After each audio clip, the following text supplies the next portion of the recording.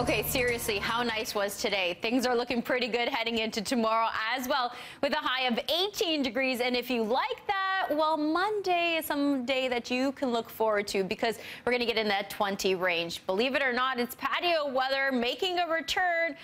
But by the end of the work week, that's when we start to cool down back to seasonal. The average high for this time of year is around 10 degrees. We're currently sitting at 13 out of Pearson right now, 10 in North Bay and 14 in the Windsor area. So you get the weather picture. It's nice out there, but it doesn't mean you don't need that jacket. In fact, this northwesterly wind we're tapping into right now is making it feel just a bit cool outside. So you're going to want a jacket, a light jacket, a, whatever jacket you plan on using. Just I would definitely not leave the house without it. You don't need that umbrella for this evening. And in terms of boots or anything like that, I mean, you can get away. I wouldn't say flip-flop weather, but Monday you can get away with wearing flip-flops. Now our satellite radar is showing us not much happening out there. Minimal cloud cover, but clouds will build throughout the overnight, and then we're going to see partly cloudy skies heading into tomorrow. Now in our forecast, things are looking pretty good for the next two days, but but Monday rolls along, and although we're dealing with nice conditions for the majority of the day, by the evening, things will start to change. We'll see a bit more cloud cover heading into the afternoon period, and by the evening,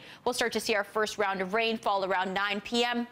It's going to be spotty, continuing on and off throughout the evening period, overnight, heading into Tuesday morning, and then spotty conditions continuing for Tuesday throughout the day.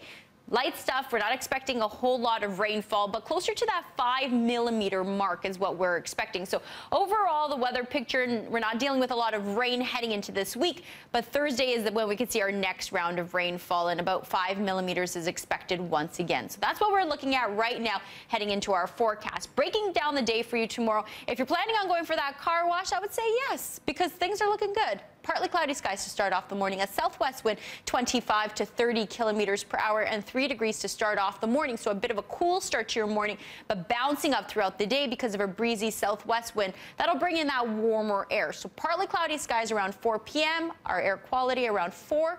Um, the next seven days, this is kind of a breakdown of what's going on. 18 degrees will be our daytime high throughout the overnight. We actually get to about 9, which is our daytime seasonal high for this time of year. And 20 degrees on Monday will be our daytime high. 16 degrees on Tuesday. And then this, we start to see things cooling down slightly, getting back to the seasonal mark.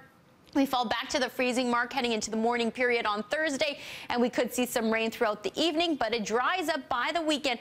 And heading into the Easter weekend, things are looking pretty good with sunshine, and we're getting back to that season mark, sitting at 8 degrees. So overall, the seven-day forecast is actually quite pleasant, with the next few days being above seasonal and definitely patio weather.